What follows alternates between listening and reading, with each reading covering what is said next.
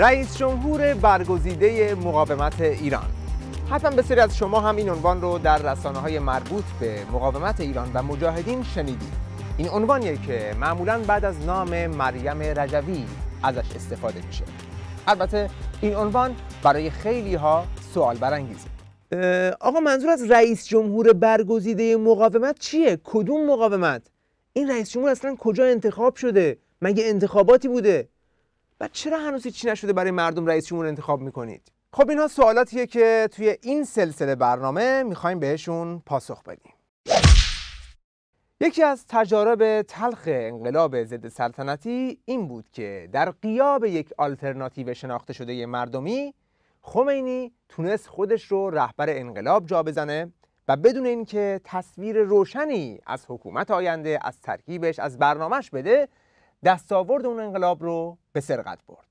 این بار از آغاز مبارزه برای سرنگونی دیکتاتوری آخوندی در سی خرداد سال 60 بلافاصله ضرورت تشکیل یک آلترناتیو روی میز اومد. یعنی یک جایگزین سیاسی که بتونه بعد از سرنگونی دیکتاتوری زمین ساز برگزاری انتخابات آزاد بشه و قدرت رو به مردم منتقل کنه. به همین منظور در سی تیر 1360 مسعود رجوی در تهران شورای ملی مقاومت رو تأسیس کرد. هدف از تشکیل این شورا ایجاد ائتلافی از تمام نیروهای دموکراتیک مخالف رژیم ولایت فقیه بود تا همه این نیروها رو برای سرنگونی رژیم و استقرار دموکراسی در ایران متحد کنه.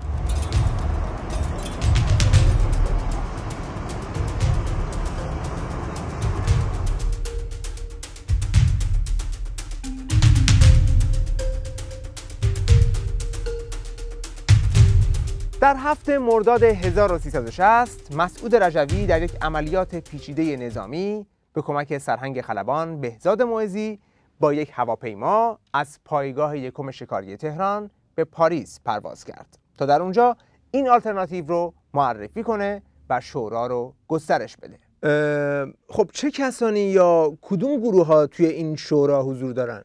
توی این شورا گروه ها و شخصیت هایی با عقاید و مذاهب و از سنف های مختلف حضور دارند. از مجاهدین تا فدایی از بازاریان تا وکلا و دانشگاهیان از نویسندگان تا هنرمندان و ورزشکاران از اقلیت های مذهبی مثل زرتشتی ها تا آتئیست ها تا نظامیان سابق و حتی دیپلمات های سابق رژیم که صفشون رو از نظام جدا کردند و به مقاومت پیوستند. گفتنیه که زنان در این شورا حضور چشمگیر و بی سابقه ای به نسبت سایر احزاب و پارلمان های جهان دارند. خب این شورای ملی مقاومت که میگه آلترناتیوه برنامهش چیه برای آینده؟ در نیمه دوم سال 60 برنامه و اساسنامه شورا و دولت موقت تصویب و منتشر شد.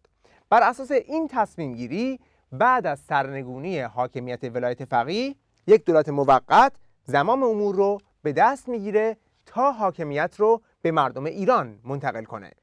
وظیفه اصلی دولت موقت اینه که حد اکثر شش ماه بعد از سرنگونی یک انتخابات آزاد برای تشکیل مجلس مؤسسان و قانونگذاری ملی برگزار کنه. بعد از تشکیل این مجلس وظیفه شورای ملی مقاومت و موجودیت اون خاتمه پیدا می‌کنه و دولت موقت استعفای خودش رو به مجلس مؤسسان تقدیم می‌کنه. حالا پس این رئیس جمهور برگزیده مقاومت کجای این ماجرا قرار می‌گیره؟ در سال 1372 شورای ملی مقاومت در یک جلسه ای این تصمیم رو گرفت که این دولت موقت باید یک رئیس جمهوری داشته باشه و بعد از بحث های فراوان همه اعضای شورا روی مریم رجوی توافق کردند و به اون رأی دادند یعنی مریم رجوی رئیس جمهور این دولت موقته که وظیفش برگزاری انتخابات آزاد برای تشکیل مجلس مؤسسانه. بعد از تصویب قانون اساسی و تعیین نوع حکومت جدید ایران در مجلس مؤسسان دوره این ریاست جمهوری هم به پایان می‌رسه. حالا چرا مریم رجوی رو انتخاب کردن؟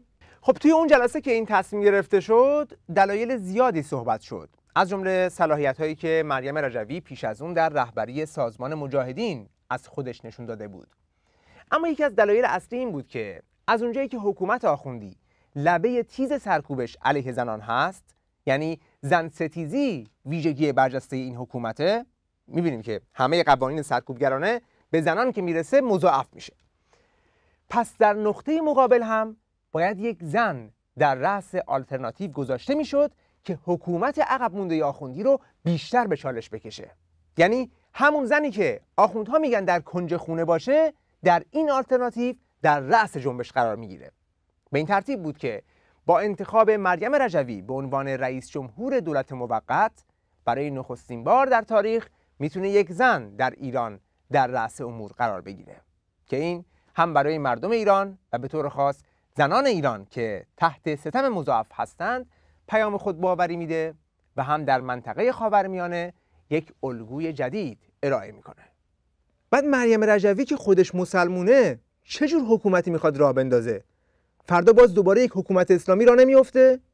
ببین مریم رجوی که در واقع منتخب شورای ملی مقاومت هست تمام ایده ها و طرحهای این شورا رو توی یک برنامه ده ماده خلاصه کرده.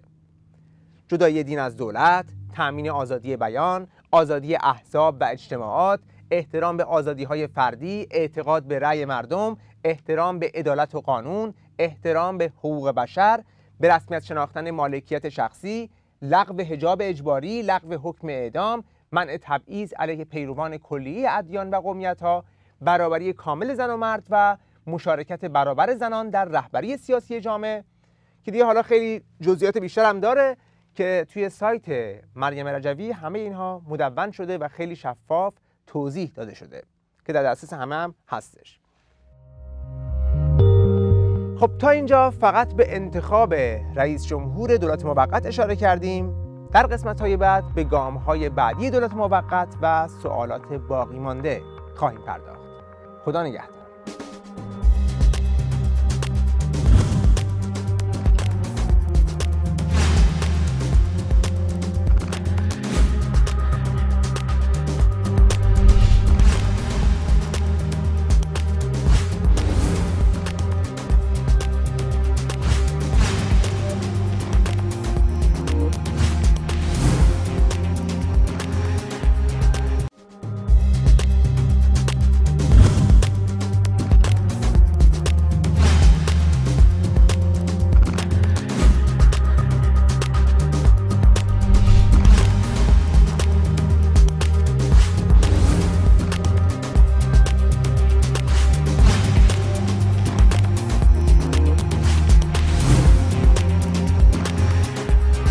سلام. در برنامه قبلی درباره نحوه انتخاب رئیس جمهور برگزیده مقاومت برای دوران انتقال حاکمیت به مردم صحبت کردیم و قول دادیم که در این قسمت به سایر اقدامات و طرحهای دولت موقت بپردازیم. بخشید قبل از اینکه وارد بحث بشید من یک سوال دارم. بفرمایید. خب این رئیس جمهور رو که مردم انتخاب نکردن یک شورای انتخاب کرده که اعضای اون رو هم مردم انتخاب نکردن. پس چجوری می‌خواد این رئیس جمهور کل مردم ایران بشه؟ اولا ایشون که رئیس جمهور دائمی ایران نیست بلکه فقط رئیس جمهور دوران انتقال قدرت به مردم ایرانه. دوما انتخابات خیلی خوبه. ولی الان که 80 میلیون زیر حاکمیت اختناق و سانسور به سر می‌برند مگه میشه یک انتخابات آزاد برگزار کرد که همه مردم ایران در داخل و خارج تو شرکت کنند؟ اتفاقا وظیفه اصلی این دولت موقت اینه که شرایطی رو فراهم کنه که اون انتخابات آزاد رو بشه برگزار کرد. یعنی یکی باید بیاد این کار رو انجام بده که مأموریت اصلی این رئیس جمهور دولت موقت هم دقیقا همینه. بعد که با انتخابات مجلس مؤسسان انتخاب شد و قانون اساسی جدید رو نوشتند و نوع حکومت جدید ایران رو تعیین کردند بر اساس اون قانون اساسی که باز باید به رفراندوم گذاشته بشه یک انتخاباتی برگزار میشه که هر کسی یا حزبی که رأی آورد رئیس دولت آینده برای دوره معینی که قانون اساسی مشخص کرده خواهد بود. و به این ترتیب دیکتاتوری برای همیشه از تاریخ ایران محو میشه. خب چرا از الان این رئیس جمهور انتخاب کردن؟ چرا نذاشتن بعد از سرنگونی این کار رو انجام بدن؟ خب آخه چرا در حساس ترین مقطع مردم رو توی گمراهی و ابهام نگه دارن؟ اینکه امروز شما برنامه داشته باشی برای آینده. اتفاقا نشون دهنده بلوغ مبارزاتی مردم ایرانه که از یک مقاومتی برخوردار هستند که می‌تونه قبل از سرنگونی دیکتاتوری این مسائل رو پیش بینی کنه و مسئولانه راه حل ارائه کنه. برای اینکه اون بلایی که سر انقلاب 57 اومد دوباره تکرار نشه. اون زمان سطح مبارزات خیلی پایینتر از الان بود. یه خمینی یه دفعه اسمش مطرح شده بود ولی حتی اسم اعضای شورای انقلابش رو هم به کسی نمی‌گفت. هیچ چیزی از برنامهش ارائه نمی‌داد. مثلا برنامه مشخص یک دو سه چهار خبری نبود. همینطور پراکنده هر چی خبرنگاران میپرسیدن یه جوابایی می‌داد که حالا بعدش هم هیچ نپذیرفت.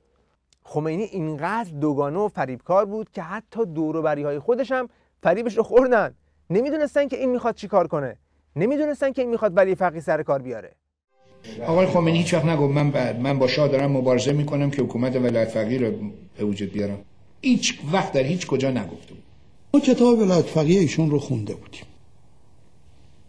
من به عنوان شخص خودم بگم وقتی که خونده بودم خیلی عمیق باید بگم که همه ابعادش رو برداشت نکردم. بعد هم آقای خمینی هیچ بحثی نمی کرد که این دستور عمل حکومتی است که من می‌خوام ترسیم بکنم. خب این تجربه تلخ خمینی بود. ولی حالا شورای ملی مقاومت ترکیبش مشخصه مسئولش مشخصه رئیس جمهورش مشخصه. طرح و برنامه هاش رو علنی و شفاف اعلام کرده. برای مسئله حقوق زنان جدایی دین و دولت صلح در منطقه.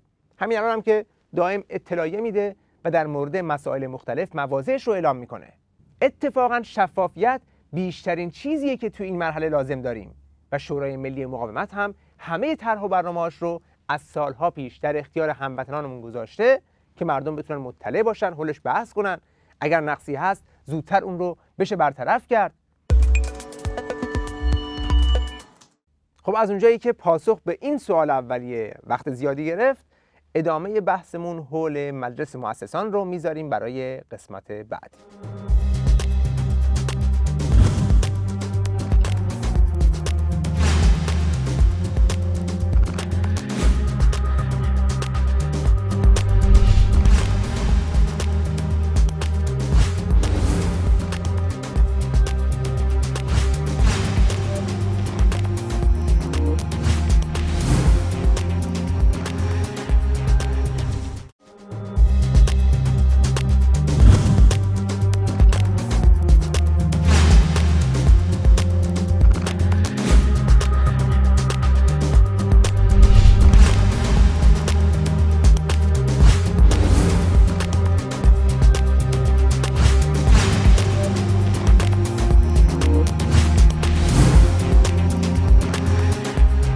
سلام.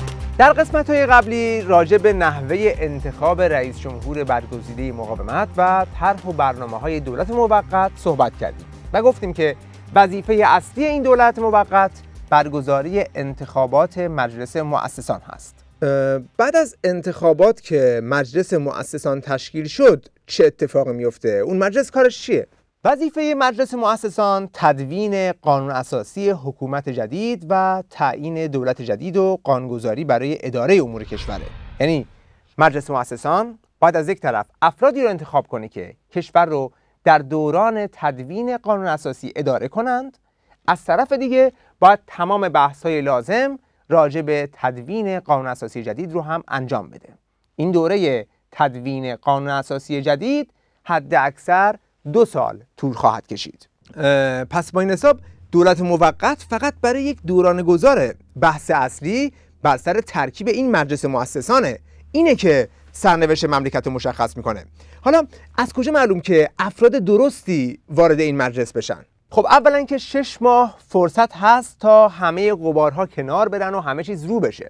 پر واضحه که توی این مدت تمام اسرار نظام گذشته افشا میشن تمام اسناد محرمانه وزارت اطلاعات و سپاه و اطلاعات سپاه. توی رسانه ها علنی میشن. حتما تعداد زیادی از مقامات سابق دست همدیگه رو رو می‌کنن. همه احزاب و گروه ها می‌تونن توی فضای باز سیاسی با ارگان ها و رسانه های خودشون ایده هاشون رو تبلیغ کنن بدون اینکه ترس از دستگیری یا عواقبش داشته باشن. همایش می‌ذارن بحث خیابونی می‌کنن مناظره می‌ذارن. کارنامه همه افراد شفاف و روشن بحث میشه. هر کس هم هر دفاعی که داره علنی انجام میده. نهای کسانی که در نظامهای دیکتاتوری گذشته نقشی در سرکوب و جنایت و چپاول نداشته باشند می‌تونن کاندیدا بشن و در انتخابات آزاد شرکت کنن و به این ترتیب مردم اعضای مجلس مؤسسان رو انتخاب می‌کنند. حالا اگر یکی اصلا از این طرح دولت موقت و اینا خوشش نیاد یا برنامه دیگه ای مد نظرش باشه چی؟ اون چی کار کنه؟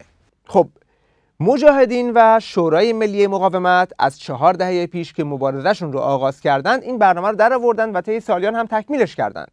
ایدهشون همینه که اگر رژیم رو سرنگون کردند با این برنامه به شرایط بعد از سرنگونی پاسخ بدند. حالا اگر کسی مخالف مجاهدینه ایده دیگه ای داره از این طرح خوشش نمیاد خب کسی جلوشو نگرفته به رژیم رو سرنگون کنه بعد هم ایدهش رو اجرا کنه. این طرح مال مقاومتیه که از سی خرداد سال 60 تا الان با نظام ولایت جنگیده و هنوز هم شبانه روز درگیر همین نبرد برای سرنگونی نظام و برقراری دموکراسی این مقاومت به اعتبار همین مقاومتش و بهایی که در این مسیر پرداخته یک چنین برنامه‌ای برای انتقال قدرت به مردم رو ریخته. مشروعیتش هم از همین مقاومت ناشی میشه. اما اگر کسان دیگری هستند که می‌خوان برن رژیم رو سرنگون کنند و ایده های دیگه ای دارن بسم الله. در آن صورت مجاهدین فقط آزادی بیانشون رو می‌خوان و مثل سایر دموکراسی ها به فعالیت سیاسیشون می‌پردازند. حالا تضمین اینکه مجاهدین بیان توی دولت موقت و به همین حرفا پایبند بمونن چیه؟ از کجا معلوم که مثل خمینی دوباره به قدرت که رسیدن این حرفها و شعارهای قشنگ فراموش نشن؟ تضمین چیه؟ آخه اصلا این خود هدفه. تمام مبارزه چل ساله مجاهدین برای همین هدف بوده. اصلا خود همین مبارزه و بهایی که در این راه دادند تضمین اینه که چقدر به اون هدفی که اعلام کردن وفا دارند اتفاقا در زمانی که دیکتاتوری حاکمه هیچ شاخص دیگه ای بالاتر از این برای محک زدن اینکه هر کسی چقدر به حرفایی که می‌زنه پایبنده وجود نداره. مثل میمونه که بگی یکی داره پزشکی می‌خونه. از کجا معلوم که وقتی درسش تموم شد واقعا دکتر بشه؟ خب اصلا داره درس می‌خونه که دکتر بشه. هدف همینه همه ترم ها رو پاس می‌کنه همه امتحان ها رو قبول میشه که بعد به همین برسه. الان هم اگر یکی ادعا می‌کنه که من ضد ولایت فقیه هستم من طرفدار دموکراسی هستم من می‌خوام ایران آزاد بشه اول باید ببینی که برای این ادعاهاش حاضر یه خرجی هم بکنه یا نه.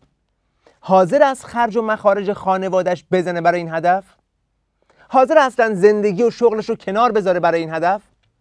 بعد اگر جلوش مانع گذاشتن بهش فحش دادن جا می‌زنه یا تلاشش رو بیشتر می‌کنه. اگر تهدیدش کردن بهش شلیک کردن بهش موشک زدن تسلیم میشه حاضر زندان و شکنجه و اعدام رو هم برای این هدف بپذیره یا نه؟ با مشاهده مشکلات و فشارها گفته آقا ما نخواستیم و رفته دنبال زندگیش. خب اگر ایستاده و باز هم برای رسیدن به هدف تلاش می‌کنه خب پس معلومه که جدیه. بنابراین بالاترین تضمین آینده تضمین اینکه همه این طرحها اجرا بشه مبارزه کنونی مجاهدین و هزینه است که دارن براش میدند آیا شما تضمین دیگه رو سراغ دارید؟ با این حساب ما توی این مجموعه تلاش کردیم یک تصویری از طرح و ایده های شورای ملی مقاومت برای آینده ایران رو خدمتتون ارائه کنیم طرحهایی که محصول مبارزات 100 ساله مردم ایرانه و سال به سال تکمیل شده تا به این نقطه رسیده. طرحهایی که اگر محقق بشه میشه بر مبنای اونها ایرانی شایسته ایرانی ساخت که نسلهای آینده بتونن اون رو پیشرفت بدن. این وظیفه که بر دوش نسل ماست. موفق و پیروز باشید.